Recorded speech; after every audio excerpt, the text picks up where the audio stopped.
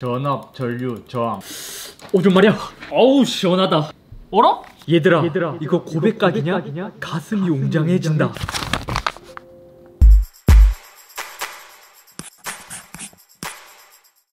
안녕하세요. 이썸입니다. 오늘은 unboxing이나 리뷰가 아닌 재미있는 것을 도전해보려고 합니다. 그것은 시끄러운 gaming 마우스를 무소음 gaming 마우스로 만들기입니다. 왜 이러한 도전을 하냐? 어, 그... 로지텍의 고질적인 문제가 오랫동안 사용했을 때 스위치가 사망하거나 더블 클릭이 되는 문제가 굉장히 심해요. 물론 저는 아직까지 로지텍을 쓰면서 이러한 이제 더블 클릭이나 스위치 사망 문제를 겪지 못했는데 이미 인터넷에 검색을 해보면 엄청나게 고장 나신 분들이 많은 것은 사실이죠. 검색을 해보니까 보증기간 내라면 고쳐지긴 하지만 보증기간이 지났다면 자가 수리를 하거나 아니면 사설 수리로 맡겨서 교체를 해야 됩니다. 여기서 대부분 고장난 스위치를 제거하고 새로운 똑같은 스위치로 바꾸시는 분들이 많은데 저는 여기서 갑자기 생각이 난 거죠. 이 시끄러운 gaming 마우스 만약 이게 무소음이 된다면 카페나 도서관 같이 조용한 곳에서는 그냥 일반적인 마우스로 사용하고 집에 와서는 gaming 마우스로 사용할 수 있는 재밌는 제품이 되지 않을까 해서 도전해보겠습니다. 준비 재료부터 살펴보자면 가장 먼저 납땜을 위한 장비를 새롭게 구입했습니다. 이건 패키지로 25,000원 정도에 구입했는데 납땜 장비를 실제로 제가 구입한 거는 처음이에요. 그 회로 이론 시간에 납땜을 처음 배웠었는데 그 이후로 정말 오랜만에 납땜에 도전하는 거예요. 그래서 아직까지는 제가 납땜에 서툴기 때문에 제가 하는 것을 따라하면 큰일 날 수도 있어요. 두 번째는 스위치입니다. 얘는 카일 저소음 적축인데 알리익스프레스에서 6달러 그러니까 대략 7,200원 정도에 구입한 스위치예요 스위치의 개수는 총 10개가 들어있었고 근데 이걸 보면 메인이 되는 스위치보다 장비값이 더 비싸요 물론 장비는 두고두고 쓸 수 있지만 일회용으로는 굉장히 비싼 가격이죠 그리고 마지막으로 작업할 마우스는 무선 gaming 로지텍 G304를 이용해서 만들어 주려고 합니다. G102에 만들어줄까 G304에 만들어줄까 생각을 해봤는데 약간 하이브리드 정도로 gaming 마우스인데 밖에서는 무소음으로 그냥 작업 용도로도 사용할 수 있게 그냥 하이브리드로 만들어 줄 거예요. 다음은 교체하기 전에 소리를 한번 녹음을 해놓고 스위치는 진짜 조그맣게 마우스에 들어가는 스위치인데 마이크로 녹음을 하고 있는데도 거의 들리지 않을 것으로 예상됩니다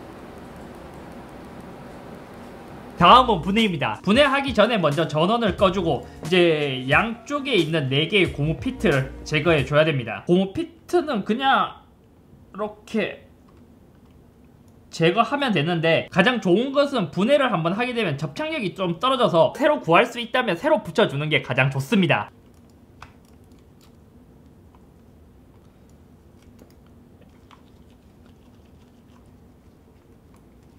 위쪽 커버를 벗겨주고 잡아당기게 되면 오 생각해보면 제가 해체쇼는 많이 했는데 마우스를 해체하는 것은 처음인 것 같아요 보니까 밑에도 나사가 하나 더 있는 것으로 추정됩니다 그래서 요거까지 나사가 여기는 없는데? 엉덩이 부분이 왜 안 빠지지? 오! 이제서야 마우스가 분리되었습니다 역시나 여기 케이블이 있기 때문에 분해를 할 때는 좀 조심을 해야 돼요. 그래서 보드에 있는 케이블 두 개도 하나 둘. 완전히 분리가 되었습니다. 이것도 물고기 배 따는 것 같은데요. 그리고 나서 여기 보면 기판이 있는데 이거는 마우스마다 조금씩 다르거든요. G304는 왼쪽과 오른쪽 여기 기판에 스위치가 있는 게 아니라 위에 있는 뚜껑에 스위치가 있습니다. 그래서 여기 마우스 휠이 있고 어? 지금 카일이라고 적혀 있잖아요. 다른 게 아니라 카일 스위치를 사용하고 있는 거예요. 오 경쾌함이 좋습니다. 그리고 밑에 로지텍에서 자랑하는 히어로 센서가 있고 여기도 지금 두 개의 스위치가 있는데 어, 일단 궁금하니까 살짝 떼서 보면 어? 중앙에 있는 스위치는 카일 스위치였지만 여기 있는 것은 옴론 차이나입니다. 근데 이것도 재밌게 왼쪽 오른쪽. 소리의 느낌이 조금 달라요. 같은 옴론사의 차이나 스위치인데. 아.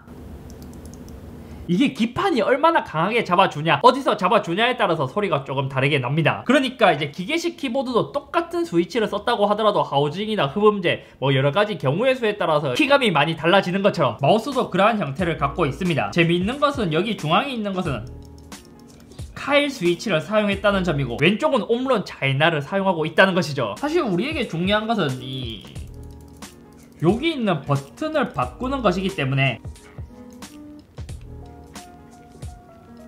와 G304는 스위치 바꾸기도 되게 어렵게 되어 있네요 오! 오오! 나와 나와 나와 나와 제가 인터넷에서 본 마우스들은 그냥 이 정도까지만 분해하면 기판을 드러내서 기판에 스위치가 붙어 있는데 304는 좀 특이하게 위쪽에 붙어 있는 방식으로 자가 교체가 어렵게 되어 있습니다.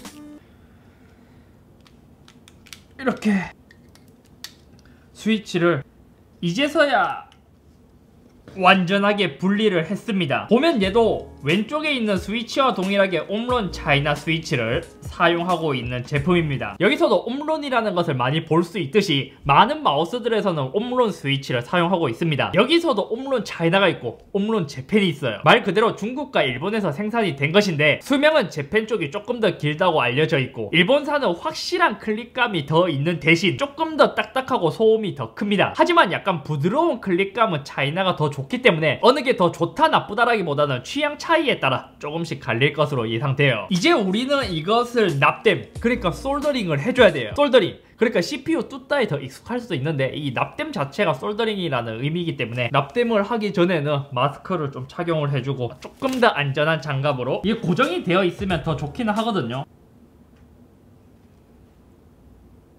이게 이런 식으로 이제 녹이면서 이렇게 제거하면 지금 이제 오른쪽 두 개와 다르게 납이 제거된 모습을 볼 수 있습니다.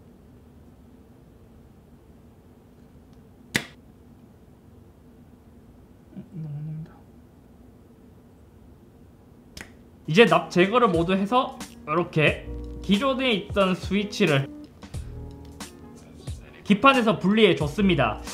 오랜만에 납땜을 하니까 이거 하나 분리하는데도 꽤 어려웠어요. 그리고 이제 새로운 스위치를 위쪽 두 곳에 이제 구멍에 넣어줬고.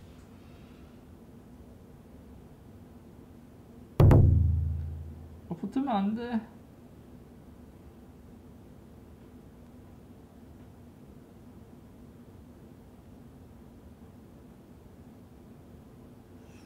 오. 아 일단 작업을 해주기는 해줬거든요. 지금 저소음 적축으로 바꿔줬는데 오랜만에 납땜을 하다 보니까 거의 몇 년이야 지금? 못해도 5, 6년 돼서인지 이제 제 실력이 부족해서 지저분하게 납땜을 완료했습니다. 조립을 하기 전에 이제 간이 테스트를 해보자면 배터리도 연결하고 전원 켜고 오른쪽 클릭돼. 오른쪽 클릭되고 어, 너 살짝 왼쪽으로 가서 폴더로. 여기서. 돼? 어. 오!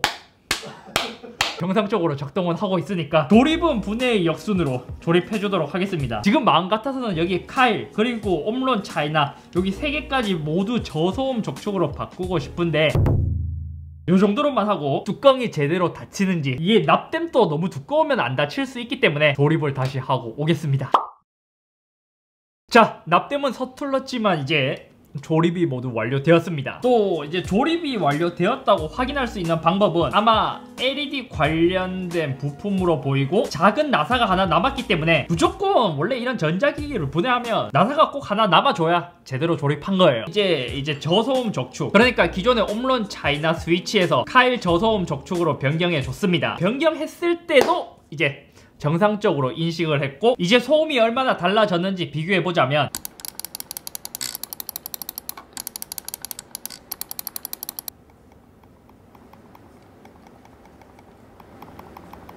와 진짜 무소음까지는 아닌데 엄청나게 소음이 줄었어요. 위에 두 개만 카일의 저소음 적축이고 사이드 버튼은 기존과 동일한 옴론 차이 나거든요.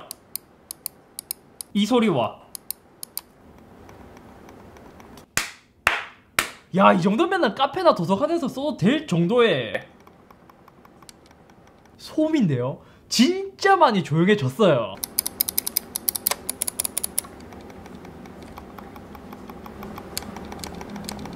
와 미쳤다. 와 이거 되게 할만한데요? 와. 심지어 제가 이전에 소개해드린 로지텍에서 말하는 무서운 마우스와 비교를 해보자면 얘도 완전히 소음이 나는 건 아니지만 진짜 조용해요. 그 소음이 나는 정도는 비슷한데 얘는 게이밍 마우스라서 눌리는 범위 이쪽에 있는 왼쪽과 오른쪽에 요 클릭되는 부분의 영역이 넓기 때문에 좀 반발력이 더 있다랄까 무소음인데도 기계식에 아주 약간 느낌이 나는 그 반발력. 와, 저는 이 정도면 할만하다고 생각해요. 얘도, 어? 얘도 이미 저소음 적축으로 들어가 있네. 근데 gaming 마우스에서 무소음이라니. 이렇게 오늘은 기존 gaming 마우스를 소리가 거의 나지 않는 거의 무소음 gaming 마우스로 바꿔줬습니다. 납땜을 제거하고 다시 납땜을 해야 하는 번거로움이 있지만 만약에 진짜 gaming과 무소음을 둘 다 쓰고 싶고 사용 용도가 무소음에 초점이 맞춰지신 분들이라면 진짜 만족할 만큼 되게 좋은 마우스가 된 것 같습니다. 스위치 자체가 저소음 적축으로 바뀌었기 때문에 소리를 잃는 대신 경쾌한 클릭음도 잃게 되었는데 오히려 마우스에 가이드가 있기 때문에 반발력은 그대로 살아있는 것 같고 또 얘가 완전히 그냥 membrane 같은 게 아니라 카일의 저소음 적축이기 때문에 그래도 gaming에 눌리는 느낌도 살짝은 살아있습니다. 경쾌한 클릭음을 좋아하시는 분들은 싫어할 수도 있지만 무소음을 얻는 거에 있어서 굉장히 큰 장점인 것 같아요. 단 제가 하는 납땜 방법은 제대로 된 방법이 아니기 때문에 납땜을 제대로 배우고 하셔야 성공하실 수 있습니다. 아무튼 오늘은 여기까지며 갑작스럽게 아이디어가 떠올라서 한번 도전을 해보게 되었는데 다음에 또 재미있는 아이디어나 이제 구독자분들께서 제보를 해주시면 제가 또 색다른 도전을 시도해보도록 하겠습니다. 자 이제 누구를 조져볼까? 너? 너? 어떠한 전작이 어? 너?